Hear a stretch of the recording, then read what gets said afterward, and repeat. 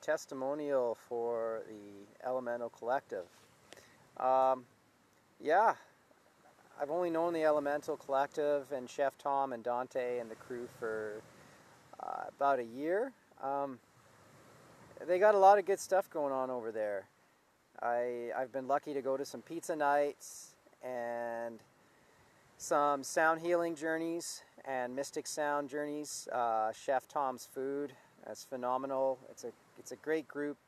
I feel you really welcome and it's welcoming. I really like the connection with nature, uh, with rewilding, with just connecting with others, the land, getting smarter, more intelligent.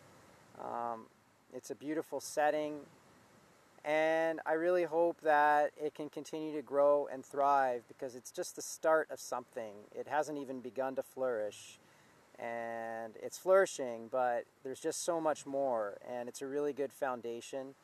And yeah, I want nothing but the best, and I want to see it just explode into awesomeness and be part of it in a small or a big way. I don't know, but in some way. Thanks.